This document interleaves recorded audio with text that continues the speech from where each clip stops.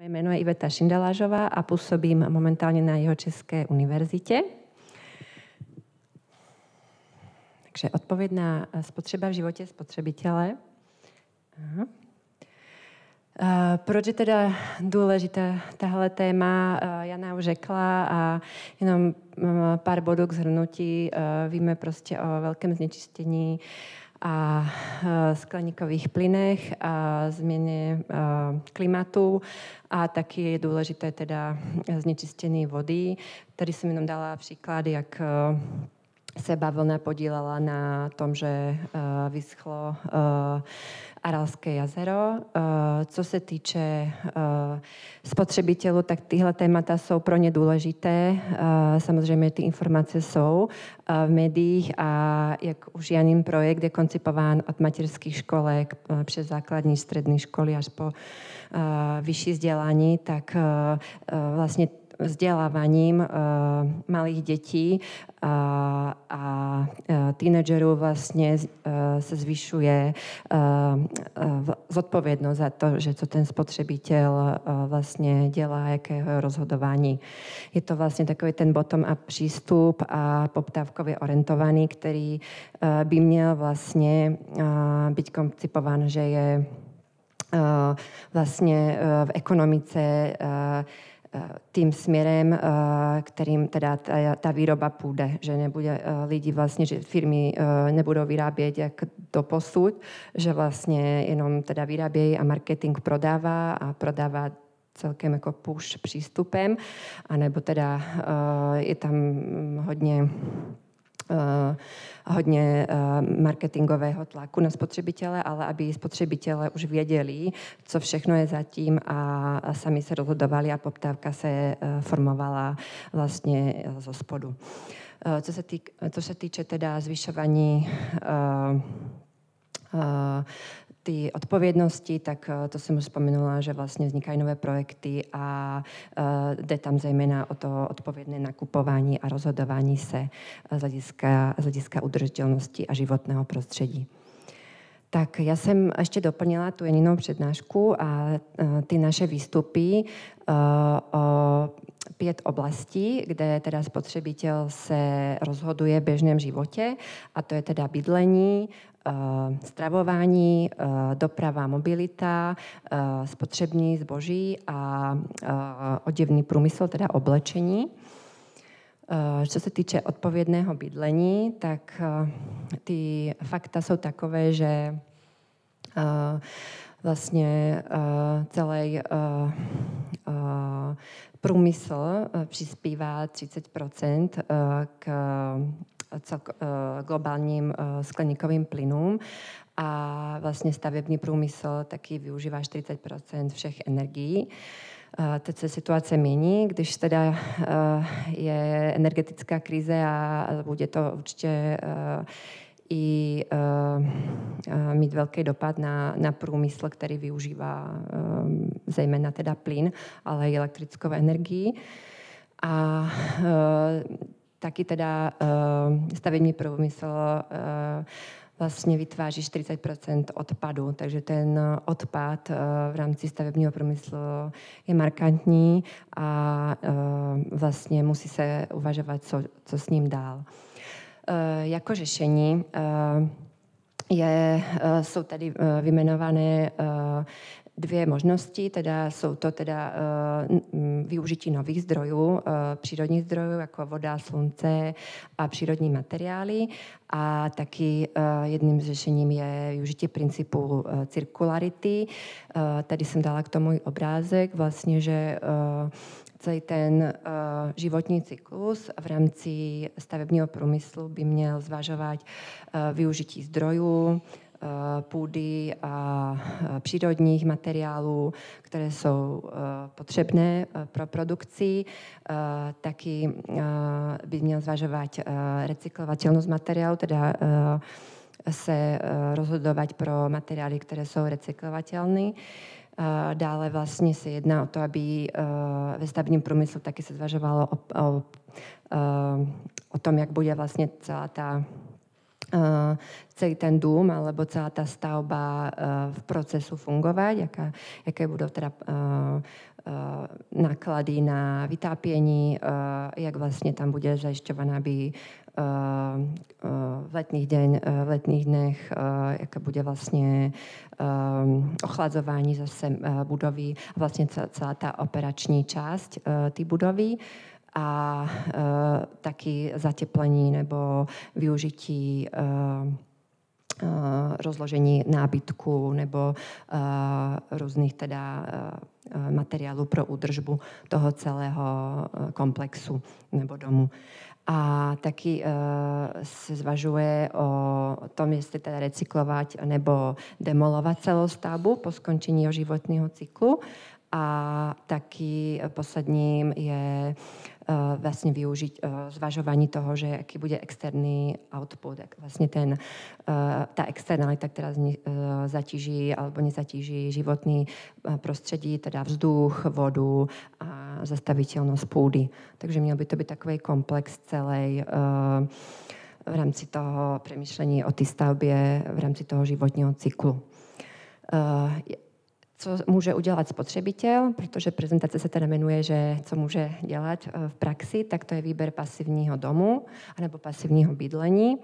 Eh, já jsem tady uvedla pasivní dům, že vlastně je to dům, který uh, využívá principy uh, pasivity domu, to znamená z hlediska teda energii. A jedná se tam o to, že vlastně externě z prostředí získává co nejvíc uh, slunečného zážení přes okna a zase interně uh, vlastně přes uh, lidi a uh, různé zařízení uh, doplňuje tuhle energii a vlastně by se tam mělo, dělat, mělo dít i kvalitní zateplení a vlastně jde o to, aby ty výhody, které pasivní dům přináší, měly i hodnotu pro, pro toho majitele v rámci toho životného cyklu, aby vlastně byl zabezpečen vyšší komfort života, nízké náklady na topení a aby teda byly i uh, využité technologie, které můžou teda um, přinést vzduch nebo um, omezí vytváření plísní. To může být nějaké ta technologie, že digitálně si nastavím, uh, kdy teda bude topit a kdy ne. A vlastně uh, jedná se tam o to, že tenhle pasivní dům. Samozřejmě, že v dnešní době z hlediska teda energetické krize eh, ty, eh, to energetické zatížení je tam, eh, je tam co nejnižší.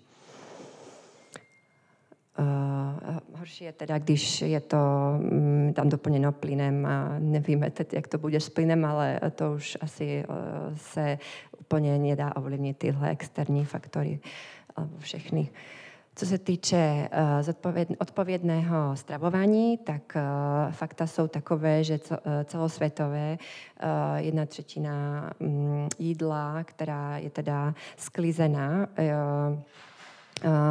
je prostě vyhozená nebo se nespotřebuje, není, není prostě využitá.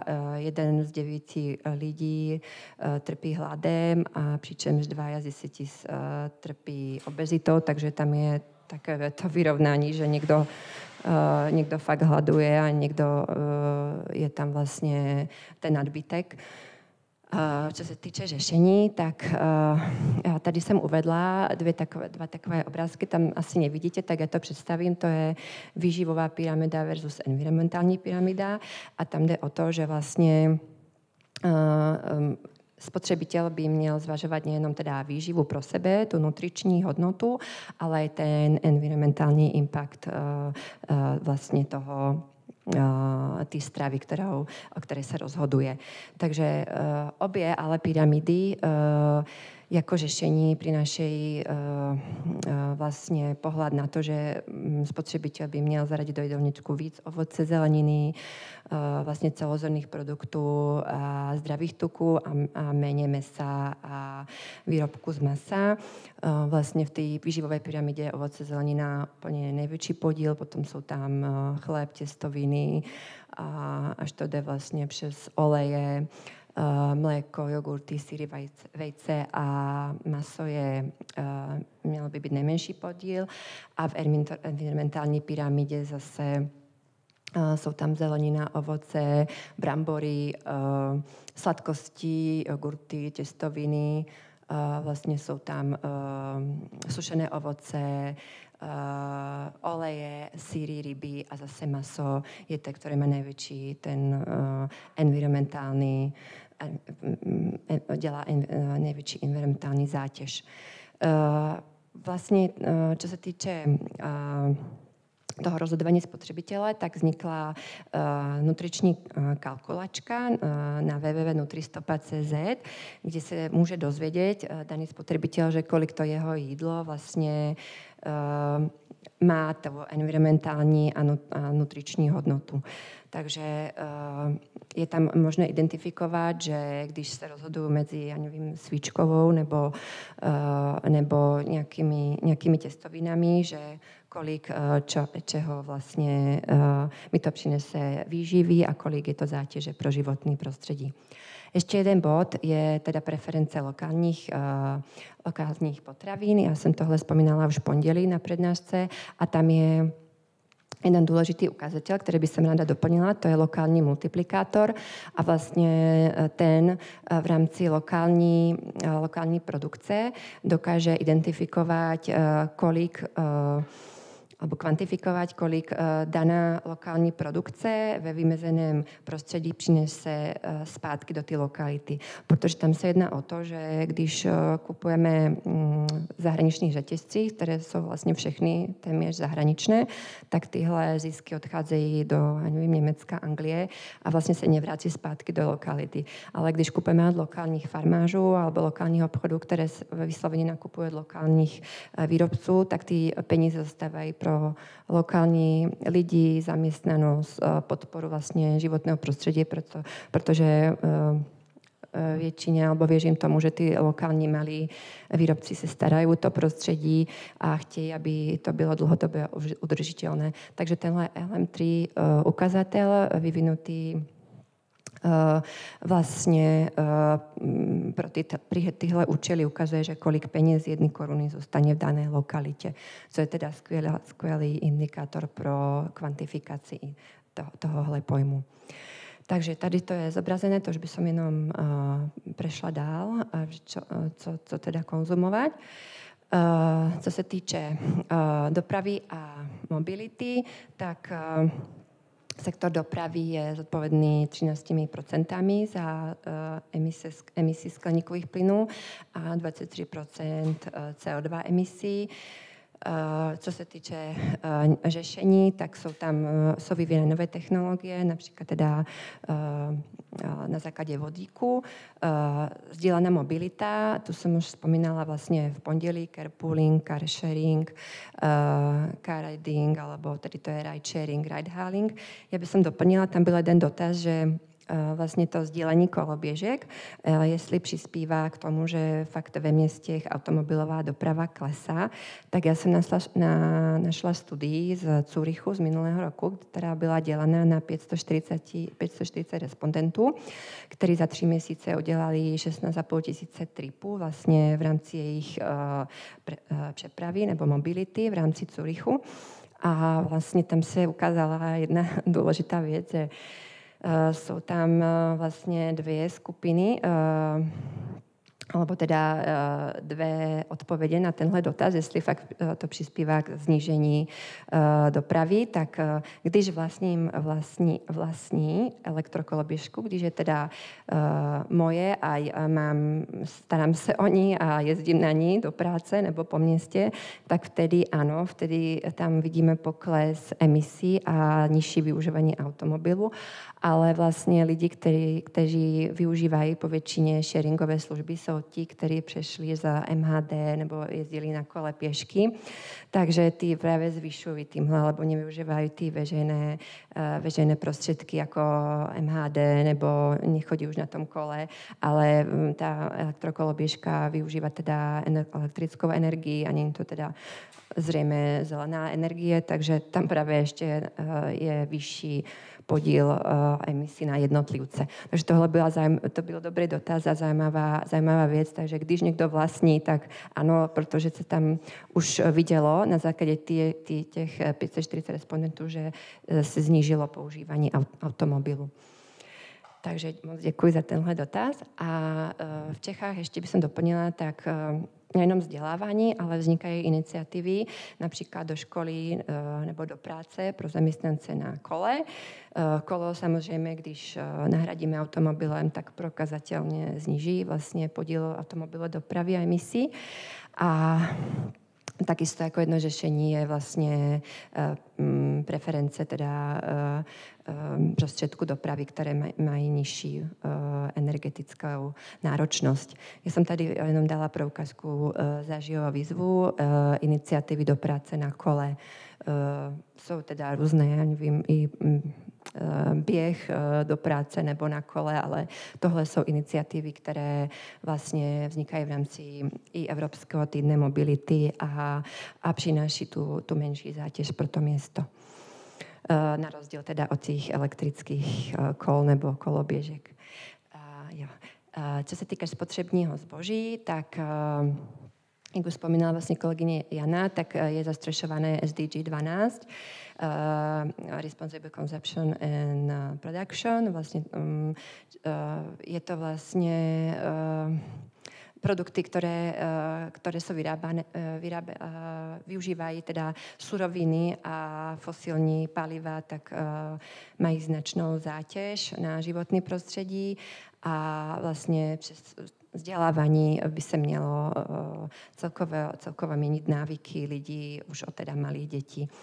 Eh, co se týče eh, řešení, tak eh, jednak je to teda ta edukace spotřebitelů už od nejmenšího věku, ale samozřejmě i, i rodičů dětí nebo prostě lidí, kteří běžně nakupují a vlastně z hlediska výrobce se tam jedná o to, aby Eh, výrobce prodlžoval životnost produktu a jednak, že eh, zabezpečí servis pro eh, daný výrobek a taky zabezpečí náhradní díly.